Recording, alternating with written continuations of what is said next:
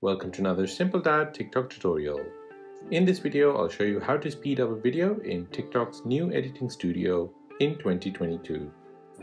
Before moving on to the video, I would appreciate if you can let me know if this video is helpful or not.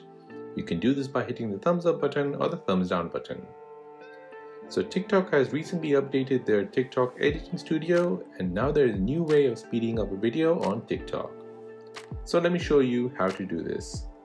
So once you have recorded or uploaded your video on TikTok, then tap on adjust clip button at the top right. You'll then come to this screen with the timeline at the bottom. To speed up a video, tap on edit, which will be at the bottom of the screen. Then tap on speed again from the bottom. Now you'll see a speed slider at the bottom just below your timeline. To speed up your clip, make sure your clip is selected and then drag the slider to the right side.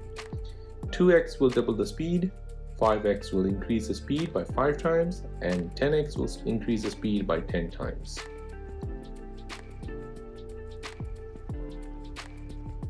If you have multiple clips and you want to speed up all the clips, then tap on apply to all.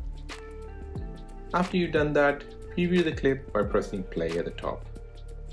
Once you're happy, tap on save at the bottom right, then press save at the top right. And that is how to speed up a video in the new TikTok editing studio in 2022. If this video is helpful to you, then please subscribe to see more videos like this. If you have any other questions, then please do let me know in the comment section down below. Thanks for watching and see you in the next one.